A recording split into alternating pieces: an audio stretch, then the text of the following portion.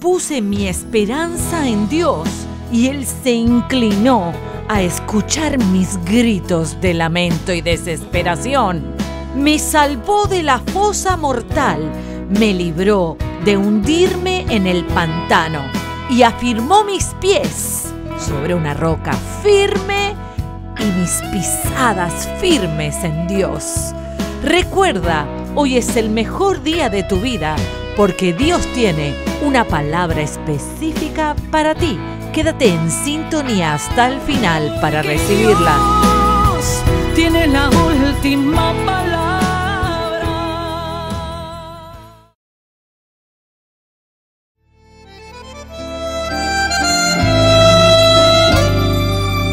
¿Te sientes como en un lodo cenagoso donde te hundes cada vez más y más y no ves la luz? ¿Crees que lo que te sucedió a ti solo te pasó a ti? Hola, soy Silvana Armentano y hoy vamos a seguir con esta serie súper especial, Empujón Profético. Queremos agradecerles a todos nuestros oyentes y seguidores por estar ahí conectados, por sus likes, sus comentarios, por los textos, por todo lo que hacen por nosotros y recordarles suscribirse a mi canal de YouTube gratuitamente, Silvana Armentano, y también inscribirse en nuestros próximos eventos. Puede buscar toda la información en silvanaarmentano.com o enviar tu texto desde ahora al 786 558 3777. Puse mi esperanza en el Señor y se inclinó para escuchar mis gritos. Bastante conocido este salmo, el Salmo 40, y vamos a estudiar algunas cositas sobre el empujón profético. Necesitamos empujar para arriba. Y si recibimos una patada, que siempre sea hacia adelante. Empujar es un choque, un impulso, un atropello, golpe, codazo, avance, adelante y progreso. El contrario de empujón es retroceder. Y para retroceder no estamos llamados, siempre hacia adelante. A veces tomamos buenas decisiones y tenemos grandes bendiciones y a veces tomamos malas decisiones con grandes consecuencias. Dios está en nuestras malas decisiones y en nuestras buenas decisiones, pero siempre su plan para nosotros es perfecto, es bueno y es agradable. Si necesitas un empujón para salir del lodo cenagoso, de ese pozo de muerte en lo cual muchas de las malas decisiones que hemos tomado nos llevaron hasta ahí, hoy es un buen día para creer que Dios te va a empujar. Hoy te voy a dar tres versículos bíblicos importantes para orar proféticamente, porque es importante que pronunciemos palabras de bien mientras estamos orando y se convierte en una palabra profética donde la presencia de Dios se inunda y empiezas a hablar tu futuro. Cuando la fe y la presencia de Dios se conectan, empieza a sonar la voz de Dios a través de tu voz y eso es lo que se llama una voz profética. Cuando Dios empieza a anunciarte cosas, que empiezan a suceder suceden a corto plazo o a largo plazo. Para más estudio del mover profético,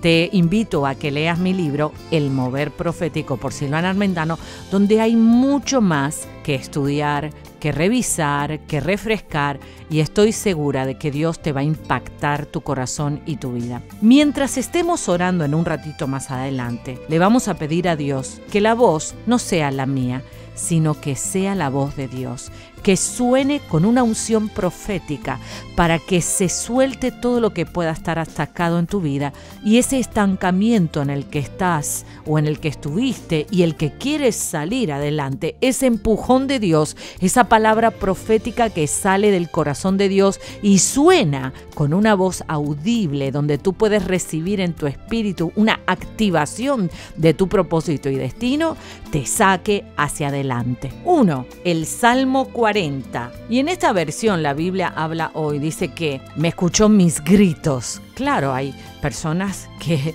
están en una desesperación total y ya no están hablando con Dios, están gritándole a Dios. Lo interesante es que Dios escucha todo tipo de clamor, el que hace suavecito, el que haces en silencio, el que haces dormido, el que haces a alta voz y el que haces gritando. Son diferentes tipos de clamores. En ese grito te sugiero que siempre clames a la misericordia de Dios. La misericordia de Dios es tan ancha que puede abarcar todos nuestros errores. Te quiero mostrar el otro versículo bíblico, Primera de Corintios 10, 13, donde dice que lo que estamos pasando no es nada anormal.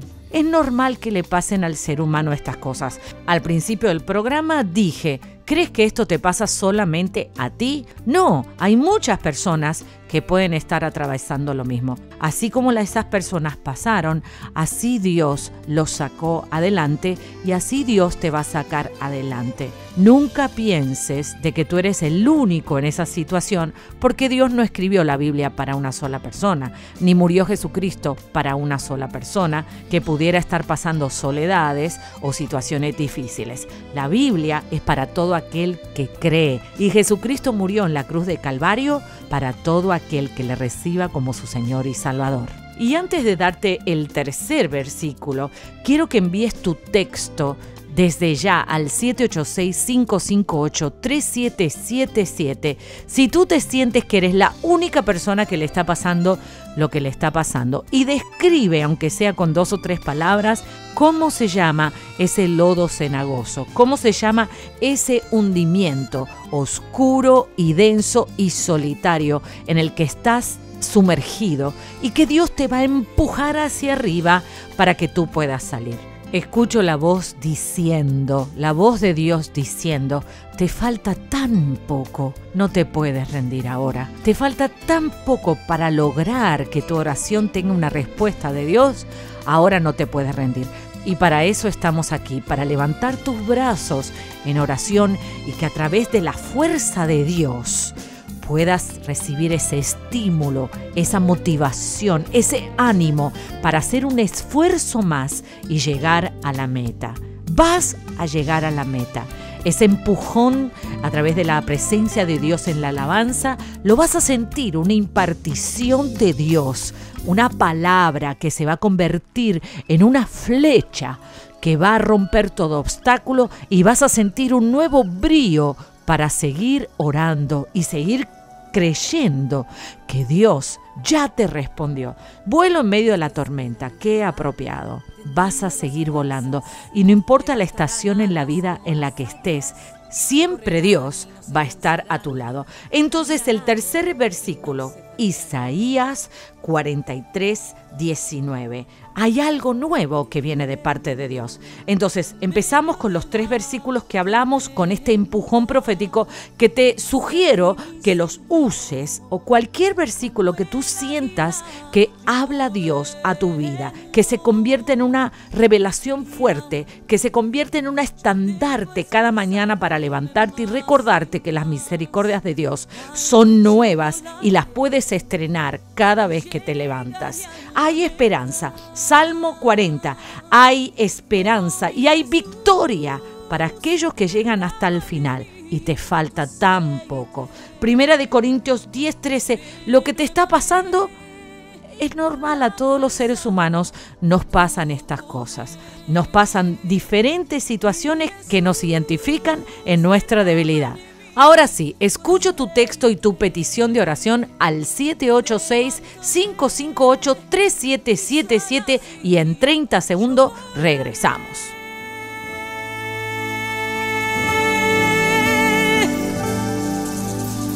Corro, mis fuerzas se multiplicarán, correré hasta el final, pisando en tu huella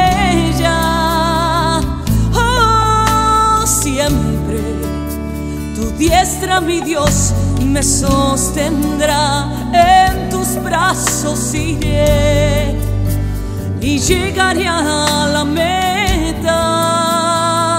Oh, mi Jesús, derrama en mí. Junto con esos tres versículos bíblicos apropiados para este mensaje, también voy a darte tres estrategias. La primera, vas a escribir cuál es tu lodo, cómo se llama tu lodo, y en qué área afectó ese lodo, si es financiero, si es en la salud, en el ministerio, en la familia.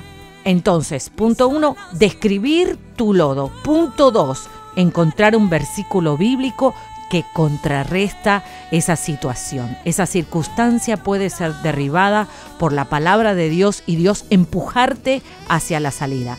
Así que número dos, vas a buscar un versículo bíblico que habla de esa situación. Y número tres, vas a persistir hasta lograrlo. Así que ahí están los tres ejercicios. El primero, vas a identificar el lodo, lo vas a escribir en qué área fuiste afectado. En la segunda, un versículo bíblico apropiado que te muestra la salida. Porque la palabra de Dios es efectiva, más cortante que espada de doble filo, que penetra hasta las coyunturas y discierne las intenciones del corazón. Y número tres, persistir, persistir, persistir. ¿Hasta cuándo? Hasta lograrlo. Vamos a contrarles y venimos enseguida. Escucho tus textos.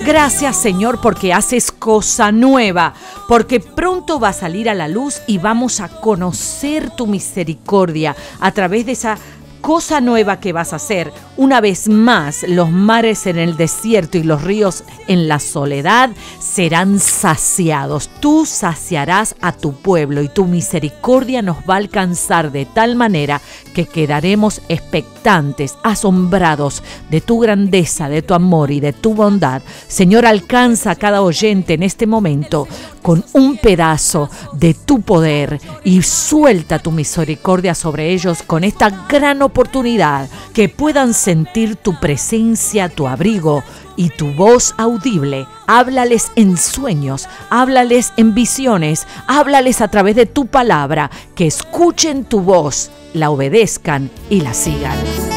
y voy a llegar a la meta porque mi Dios me sostiene.